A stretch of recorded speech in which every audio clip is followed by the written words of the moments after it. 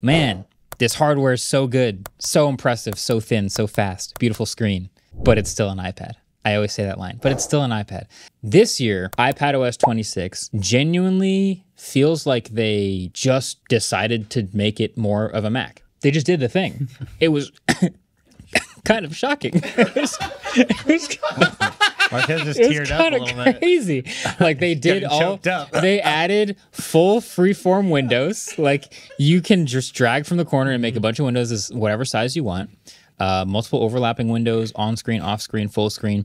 They also added a menu bar at the top. And we had the, the stoplight menu for like closing or minimizing or change the size of windows. There's a new redesigned Files app. Have you seen the like plugging it in with a trackpad? Yeah, there's It's a real just a pointer mouse. now. Finally, this is what I wanted. This is yeah, this is right up your alley. How'd you don't even need off? DeX. You literally just plug it into a monitor and maybe throw on like the keyboard attachment with the trackpad. It's a computer.